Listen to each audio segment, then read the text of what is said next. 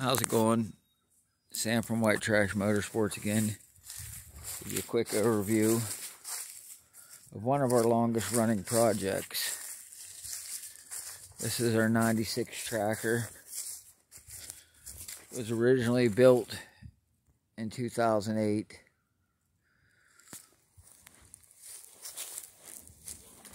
It's just 96 Geo tracker. It's got 1.6 Swapped over to a 5-speed. It's running the Samurai transfer case with a 416 to 1 gear set.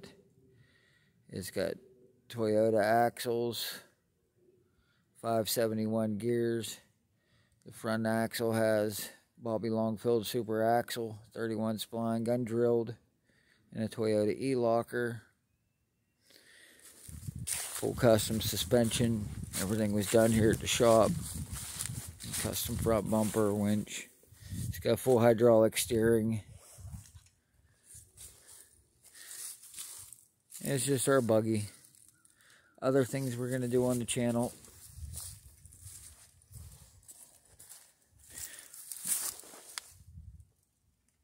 Being since we live in the Northeast, for some reason in this area,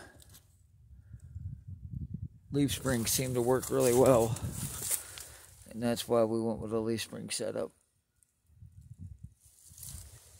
I mean, it's got GM alternator swapped in. Dual batteries. You see, we make the bracket to put the GM 105 amp alternator on it. And it's just our toy. It's a mess inside right now. We pulled the radio up because we got a problem with the dash wiring.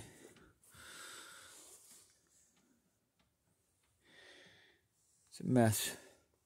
Totally right now. We've been hauling firewood with it. It doubles as our log skidder. We got heated seats in it. The AC works. These are 36 inch super swampers on 10 inch wheels.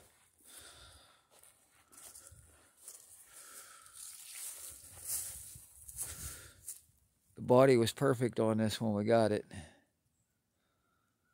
Obviously, we don't drive it on the street. With the low gearing, it's top speed. It's about 45 miles an hour. It really shines when it gets into rocks.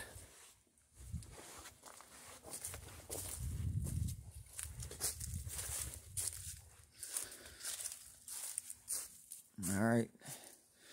Thanks for watching. Please subscribe and like.